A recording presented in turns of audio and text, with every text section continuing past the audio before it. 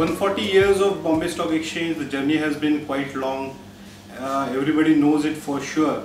What actually started in the year 1840 in the form of uh, get together under a banyan tree, correspondingly kind of moving on to 25 stockbrokers coming together to form the native uh, share and stock exchange in the year 1875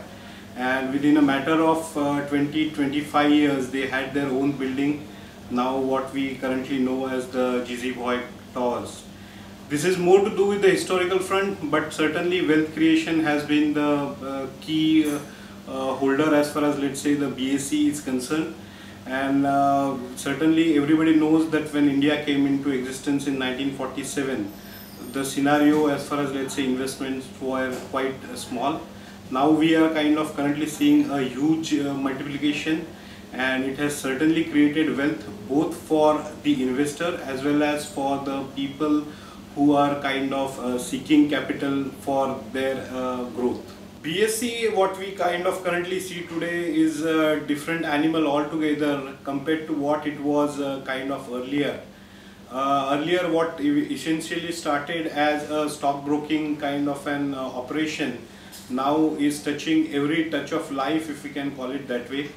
it kind of encompasses not just the stock market as a community but uh, equally along with it things like the commodities market along with it the debt market uh, also the commodity exchanges uh, if I can call it that way.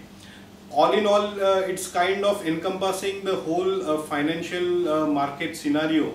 and that's certainly a big thing as far as let's say BSE is concerned. Regarding the speed that has kind of come through what was essentially a, a kind of exchange to uh, go through with share transactions in the physical format now has kind of data being disseminated real time. And uh, what has called, uh, given a kind of boost to all this is of course uh, the electronic uh, proliferation. And what we consider a kind of a boost as far as let's say me as a technical analyst sitting before you and kind of commenting on various factors of the BSE.